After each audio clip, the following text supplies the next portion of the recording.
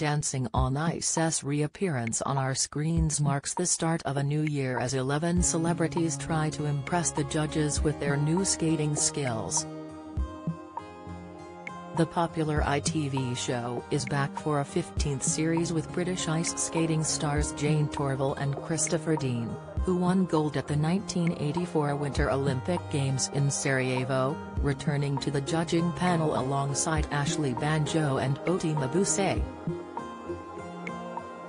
Their bond remains unbreakable more than four decades after their historic Bolero dance in Yugoslavia and the pair were back on the ice on Sunday evening to showcase their wonderful skill set once more.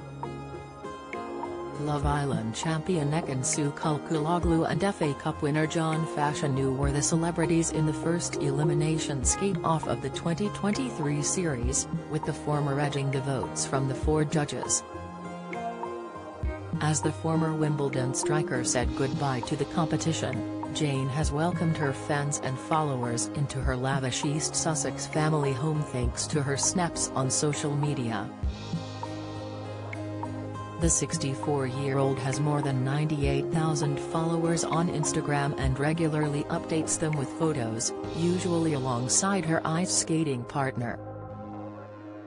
She also shares snaps of her loving family, her husband of 32 years, Phil Christensen, and their two children Kieran and Jess.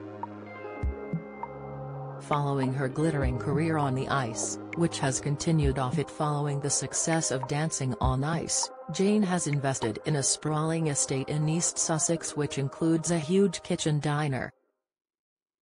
In November, Jayne gave a sneak peek of her impressive home when she was snapped on a poof with her dog Lulu as she posed in front of the dining table which looked out to her huge gardens via huge windows which span from the floor to the ceiling.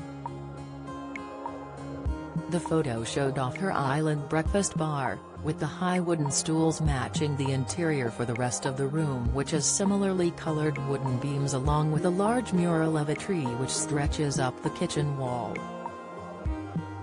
Jayne opted for cream tartan sofas in her open-plan living room as she maintained her cottage-core theme in the house, which are accessorized with a large tug in the center. Outside, dark wooden furniture helps fill the large areas of the sprawling gardens as do the numerous plant pots. There is even space for sunbeds to catch the rays, while in the background there is an eloquent pergola stretching deep into the garden.